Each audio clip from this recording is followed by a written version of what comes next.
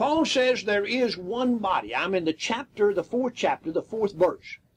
There is one body and one spirit, even as ye also were called in one hope of your calling, one Lord, one faith, one baptism. Now remember yesterday that I was talking to the gentleman that wrote about the baptism of the Holy Ghost, as he called it, or the Holy Spirit, and I explained what uh, Luke had to say about the conversion of Cornelius in the 10th chapter of the book of Acts. And I made the statement at that time, if we have two baptisms, it will contradict what the Apostle Paul said right here, where he says there is but one. Now, if people receive the Holy Ghost baptism, as they refer to it, and water baptism at the very same time, that looks to me like there's two baptisms. That contradicts what Paul said when he said there is but one. All right, now, if there is a Baptist faith, and a Methodist faith, and a Presbyterian faith, and a Catholic and a Jewish, and I could go on and on, can you not see that this contradicts what the Apostle Paul said when he said there is but one faith? Now, in 1 Corinthians chapter 1, about verse 10 and 11, the Apostle Paul says, It has been told me, brethren, right into the church at Corinth, by the household of Chloe, that there's divisions among you. Now, Paul says, I command you, brethren, in the name of the Lord Jesus Christ, that you all speak the very same thing. Now, I don't have license to believe anything that I want to. And you don't have license to believe anything that you want to. In other words, if you're a Christian, you're a Christian simply because you are a disciple of Jesus Christ. And a disciple of Jesus Christ is a learner, a follower, a student, a scholar of Jesus. Someone that recognizes that Jesus is Lord, that he has the authority to simply speak, and we as his disciples listen and we obey. Now, ladies and gentlemen, you cannot read your Bible and come up with one idea and I read it and come up with another idea, if both of us read it alike. And this is all I'm pleading for. I realize that we have gotten so far away from this Bible that it doesn't mean anything. In other words, we're simply saying that it's a good book, but there's a lot of good books. Maybe parts of it are inspired, but some of it are not. Uh, is not. Uh, some parts are not inspired, and therefore uh, you can believe it or you can disbelieve it. You can regard it or you can disregard it. You can do it if you happen to like it, or if you don't, you can just simply circumvent it or go around on the other side of it and leave it aside. I don't believe that. That's not the approach and that's not the attitude I have. My attitude is that this book is God's divine revelation from heaven to earth. I believe that it's the message that we've got to accept in order to be saved. I don't believe that God has any other record, He has any other message relative to the scheme of redemption than this Bible. And therefore, when we do what this Bible says, we will please God. And when we don't do what this Bible said, we're displeasing to God. Now I know that back in Deuteronomy and also in the book of Proverbs and in the last chapter of the New Testament, the book of Revelation, in all of these three different places, God says that we're to add nothing and take nothing from His Word. And He makes the statement that if any man adds to His Word, God will add to His name the plagues that are written in this book. If we take away from this book, God will take away our name from the book of life and our right to eat of the tree of life. Now it looks to me like that God places great importance on this Word, and that we're to leave it just exactly like it is. I'm not to add to it. I'm not to diminish from it. I'm not to change it in any way. Now, people, how can you claim to be honest? How can you claim to be intelligent when you simply have your Bibles there before you right now, and your Bible reads exactly like my Bible, and all of them read just alike, just alike, when Paul says that there is but one faith. Now, I don't believe people. I, I just don't believe that we're going to be able to plead ignorance in the day of judgment when we've got this book. Now, Romans 10, verse 17 says that faith comes by hearing, and hearing by the Word of God. It's impossible to please God without faith. We cannot have faith without doing what God said and listening to it. If we listen to Him, then we'll do what He said. If we don't do what He says, we simply do not have faith because we're not doing what God said. Now, we can pervert it, we can change it, we can argue about it, but the truth of the matter, that's the way it is. Now, when we tell our child to do something, and he refuses to do it, and we look over at him and said, Did you hear what I said? And he said, Yes, I heard what you said. Then we come back and say, Apparently you didn't because you're not paying any attention to it. I'm not talking about simply the audible uh, vibrations of sound bouncing off of your eardrums. That's not what Jesus meant when he said that you've got to hear. He simply says that you've got to observe, you've got to do, you've got to respect, you've got to understand what I said. And if a person doesn't, then of course, how in the name of reason can that individual claim to be right?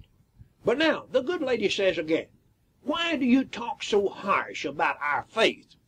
Well, in the first place, I don't believe that a man can preach the gospel without exposing error. The Apostle Paul did, Jesus did, all of them did. As a matter of fact, that's why the early disciples got into so much trouble. This is why Jesus was nailed to the cross. This is why Stephen was stoned in the seventh chapter of the book of Acts, simply because he exposed error. You see that? I cannot preach the truth without exposing error. And when you talk about our faith, then I don't have any respect for your faith. Now, if your faith is, is what the Bible says, the one that you're talking about in Ephesians 4 4, that's a different story. But now let me say, if I come across as somewhat harsh, I'll apologize for that. I have no desire to do that. But if you're confusing straightforward, simple talk, Bible talk, with harshness, then the problem lies with you, not me. You understand what I'm saying? Now, I've got a responsibility to speak. And at the very same time, you've got a responsibility to listen. If I am conscious, cognizant of the spirit in which I'm to preach. And if you are cognizant of the spirit in which you're to listen, then of course we won't have any problems. You see what I'm talking about? Now, if you feel that we're so wrong, why not pray? Why not pray for us? Well, in the first place, ladies and gentlemen, we don't know what prayer's all about. You remember in John chapter 9, about verse 31, Jesus says, We know that God heareth not the prayers of a sinner. In other words, prayer belongs to a child of God. Well, someone said, Brother Rudd, you claim to be a child of God. Why can't you pray? Well, I cannot pray for God to do something contrary to His will. Now, I know that He's not going to save people contrary to the plan of salvation that is laid down in the Bible. And therefore, how can I pray for people unless I simply pray that they will have an open mind, and this I do every day. Now, good lady, I can assure you that I never pray to God. And there's not a day goes by but when I do not utter prayer after prayer to God. That I pray that God will bless this broadcast, that He will bless the people that are listening, that He'll open the hearts and the minds of people that they can understand this. Now, this is what we are to do. Now, turn with me, if you will, over here in the 14th chapter of the book of John. I alluded to this somewhat uh, earlier in our broadcast. And I'm just talking simple now because I, I've got a feeling that this good lady is interested. And I believe that this lady is a candidate becoming a child of God. Now, I don't believe that she's a Christian yet. Don't believe that. But I believe that if she'll continue to listen, and if she'll get self out of the picture and simply say, Lord, here I am, now you tell me what to do and I'll do it. Now you go to the Bible and find out what God says, then I believe that this good lady can become a child of God. Now turn with me into John 14, verse 21, and listen to me very briefly. He that hath my commandments, now this is Jesus talking. He that hath my commandments and keepeth them, he it is that loveth me. Now what does that say? Listen to me well. Think seriously. He that hath my commandments and keepeth them, he it is that loveth me. Well, now, if you don't keep my commandments, then apparently what Jesus is saying is you don't love me. You see that? In other words, if the proof of our love to Jesus is that we keep his commandments, then how can we claim to love him when we fly in the face of his commandments and refuse to do what he said? Now listen again. And he that loveth me shall be loved of my Father. All right, now, if Jesus will not love people. I'm talking about respect them, accept them upon their conditions unless they keep his commandments. Then how can God love people? Well, someone says, Brother Rudd, I never thought about it. Well, let's look at it again. He that hath my commandments and keepeth them, he it is that loveth me. And he that loveth me shall be loved of my Father, and I will love him. And I will manifest myself unto him. Now that's plain, that's simple. Now, in verse 23, if a man love me, he will keep my word. If a man love me, he will keep my word. Now, let's see, let's, let's just pick out one or two words of Jesus. In Luke 13.3 and Luke 13.5, Jesus says, Nay, I say, except you repent, you shall perish. Now, what is repentance? Repentance is a change of mind which results in a change of life. You've been living in open rebellion to God's law. You change your mind, you say, I'm not going to do that anymore, and that results in a change of your life. You look at your life and you say, I've never been scripturally baptized. And now then, you say, I realize that Jesus says that I've got to be born again. I realize that he said, He that believeth and is baptized shall be saved, and therefore I'm going to be baptized. Now, ladies and gentlemen, if you don't do that, then how can you say that you love Jesus? Look what he said. If a man love me, he will keep my word, and my Father will love him and will come unto him and make our abode with him.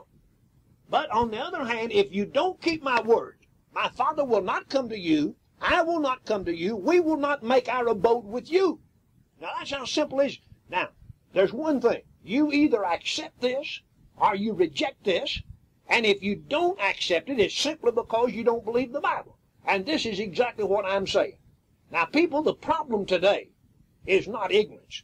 We're living in one of the most literate countries that the world's ever seen. Now, don't tell me that people can't understand. The thing that's wrong with the American people is simply we're rebellious. We've got our hearts set against God. We want to do what we want to do, irrespective and regardless of what God says. Now, ladies and gentlemen, this is the thing that's going to send us to hell. We don't want to be called Christians like they were in Antioch.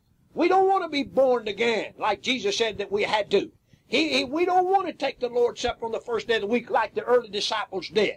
We don't want to be faithful and, and attend every service of the church like the Apostle Paul said we ought to in Hebrews 10 verse 25. We don't want to hear the gospel, believe it, repent of our sins, confess and be baptized. We don't want to put him above everything else. We want to do our thing. Ladies and gentlemen, we have permitted this individual freedom to send us to hell. And we're going to hell just as straight as we possibly can. Now turn with me, let me show you what's wrong with the world. I'll tell you exactly what's wrong with the world. Turn to the 20th chapter of the book of Revelation. In the 20th chapter of the book of Revelation, John said, I saw a new heaven and a new earth. But in chapter 20, he said, I saw an angel coming down out of heaven, having the key of the abyss and a great chain in his hand. And he laid hold on the dragon, the old serpent, which is the devil and Satan, and bound him for a thousand years, and cast him into the abyss, and shut it, and sealed it over him, that he should deceive the nations no more, until the thousand years should be finished. After this, he must be loosed for a little time. I don't care what these modern day evangelists are saying, ladies and gentlemen.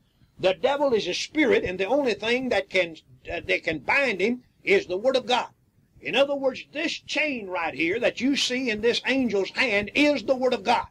And therefore, the Word of God, just as used by Jesus in the third chapter of the book of Matthew and the fourth chapter, I'm talking about the wilderness when he said, It's written, get thee behind me, is the only thing that can bind Satan.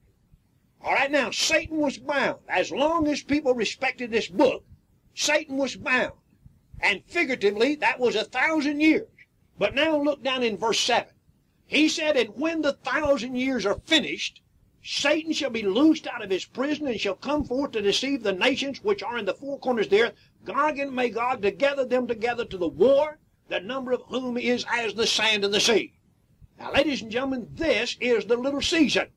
Notice you said, notice up here in verse 3, he should deceive the nations until the thousand years should be finished. After this, he must be loose for a little time. Now, we're living in this little time. We're living in the time in which the devil, Satan, is loosed. And the only thing that can bind him is the Bible. And that means that the Bible has been destroyed as far as the power of binding Satan is concerned. And therefore, just exactly as I said, we don't have any respect for this Bible. And therefore, the devil is doing and sowing in our minds anything that he wants to.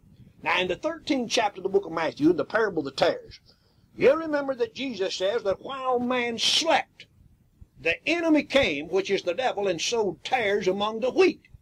Now, brethren, This is exactly what happens. We're not hearing preaching like this. We don't hear preachers anymore get up and preach like they did 50, 75, 100 years ago. What are we doing? Well, everything is psychology. Everything is talk shows. Everything is simply trying to make people feel better. Well, ladies and gentlemen, we don't need to feel better in our sins. We need someone that tells us that we're going as straight to hell as a martin to our box. And we need to make people, we need the people to make us understand that unless we repent, we will perish. We need people to stir us up and let us know that God still rules this universe. And that one of these days he will destroy this world by fire just exactly like he did under Noah with water. We've got to understand that God can destroy cities just like he did Sodom and Gomorrah. We've got to know that God has the power and the desire and the will to cast people out of his presence that rebel against him just like he did those rebellious angels. And all we've got to do to understand that is to turn to 2 Peter chapter 3 and Titus are in, in uh, Jude, the first, those, that one chapter there in the book of Jude. Now, the reason why we don't want this is simply because we've closed this book. And this is what people don't want. Just like the gentleman yesterday that talks about the baptism of the Holy Ghost. Or just like the man that wrote and asked me to explain 1 Corinthians chapter 15, verses 29 and 30. And the Mormons come along here and say that we're to be baptized for the dead. They had one woman out in Salt Lake City that were baptized for some 3,000 people the last time I heard. And anybody with one eye and half sense that'll use the half of the eye and the half of the sense he's got knows that Christianity is a personal individual and that nobody can obey the gospel for somebody else. Ladies and gentlemen, when you cast this Bible aside, then of course and open the floodgates and the waters begin to rush in, there is no end. There's no end to the error. And that's exactly what happened. It's crept into the churches. I'm talking about the churches of Christ. I'm not talking about the sectarian. Our brethren don't preach the gospel anymore. I can't understand why it's any harder for a man to preach like this than it is to get up here and talk like Donahue or anybody else, a bunch of tomfoolery that won't save anybody.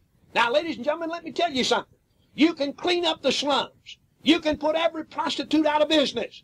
You can clean up all the street gangs and still the people in the world and they're lost and they're going to go to hell. They're not going to go to hell because they're prostitutes. They're not going to go to hell because you're using drugs. They're not going to go to hell because they're drinking. They're going to go to hell because they're not in Christ Jesus. And everybody that's not in the church is going to be lost. Now, of course, when you get into the church, you're in the church because you're converted. And when you're converted, you're going to quit your prostituting. And you're going to quit your drug using. And you're going to quit your stealing and lying and cursing and everything else. But I'm simply saying if you could get everybody to straighten their life up, and we had an absolutely 100% moral world, you'd still have a world that's lost, that's hopeless and helpless and hapless before God because they're not in Christ. You understand what I'm talking about? Now, ladies and gentlemen, we've got the cart before the horse. And the thing we need to do is to get this thing right. And we've got to have some preachers that are set behind microphones and get behind pulpits and lectern and get in pulpits and tell the people exactly what's going to send them to hell. We're sinners. And we're sinners because we've transgressed God's law. And we're transgressing God's law when we refuse to listen to what He said. And when we let people come up here as if it's nothing and talk about my faith and your faith and the Baptist faith and the Methodist faith and the Presbyterian faith. And you do this and I do that and you're honest and you're honest. And let me talk in tongues and let me shout and let me carry on a bunch of tomfoolery when the Bible says that God is not a God of confusion. Then, ladies and gentlemen, this is why we've got the confusion that we've got in the world right now. I say that it's high time that we get us a group of men, and I'm going to say young men, because I've lost all faith in a bunch of the old ones around here. They're not going to preach God's law, and we're going to have to raise up a young generation that has respect for the Bible, that will bear down on it like the God of heaven intended it to be. And we're not going to have that until we get a bunch of you soft soap and pussyfoot members of the church that sit out there that droll over this stuff, and you like it and you bask in this kind of stuff until you demand Bible preaching not going to have it until somebody demands it. Now, ladies and gentlemen, I'm just like Joshua. You can make up your mind what you want to do. You can serve the God of the Amorites and the Moabites and all of them on the east side of the Jordan. Joshua said, but for me and my house, we're going to serve God. Now, if you preachers listening to me, and if the members of you preachers are listening to me, if you want to sell your soul for a little pot of soup like Esau did, that's your business. Ladies and gentlemen, life is too short, eternity too long, heaven too fine, and hell too hot for Don Rudd to sell his soul and begin to back off simply because people don't want the truth. Now, ladies and gentlemen, I love your soul. I wouldn't be preaching this way. This is not popular preaching. People don't like this preaching. Why? Because they don't like the truth. Jesus told me a long time ago, just like he told you and he told the apostles, that the world won't accept you. They wouldn't accept me. They persecuted me, they'll persecute you. They kill me, they'll kill you. Ladies and gentlemen, let me emphasize that the majority has always been wrong. The majority was wrong in the antediluvian world when God destroyed the world, saved eight. The majority was wrong when Moses led those two million, which was not a drop in the bucket to the population of the world, out of the land of Egypt into the land of Canaan. Ladies and gentlemen, not only that, but the majority of them ended up wrong.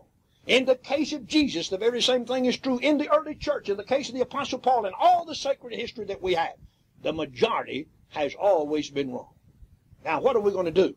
We're simply to go back to the Bible and simply say, Lord, give me the ability to understand it. Give me the wisdom to understand it. Give me the desire, first of all. And the Bible said, if any man willeth to do his will, he'll know the truth. Now, good people, like this lady right here, and I say good because she's listening to the broadcast, listening to a religious uh, program, because she's religious in nature.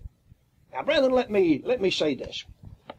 The congregation where I preach is a new congregation. We have just started it. We're less than two, three years old. There's about 25 or 30 people, four, five, six, seven families of people. I look out at those people, and almost without an exception to the rule, the entire congregation is made up of people that were converted when I was on this radio broadcast the time before. Now, I, I believe with all of my heart that there's still good, honest people out yonder. I believe that there's good, honest people listening to me. When I was on the radio before, I'd have people to call up just like this lady and say, You know, Mr. Rudd, I'm a Baptist. I've been listening to you, and if what you say is true, then I'm wrong. I'm this, and I realize now that when I was baptized, I was not scripturally baptized, and I think that I ought to be baptized.